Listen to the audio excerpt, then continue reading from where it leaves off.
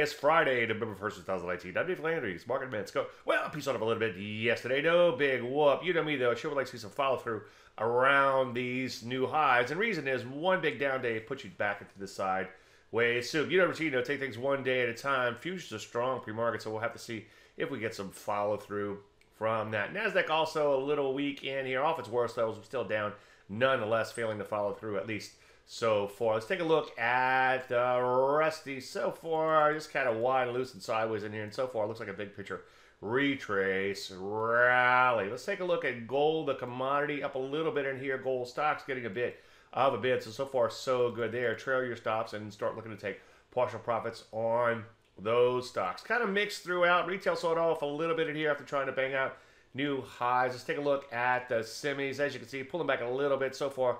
Recent breakout remains intact, but like the market, one or two big down days will put you back into the sideways range. So what do we do? Well, I'm not seeing a whole lot of setups just yet, so sit tight and continue to wait for follow through. Any questions, as usual, Dave, I'm Dave Landry, and you started Market Minute.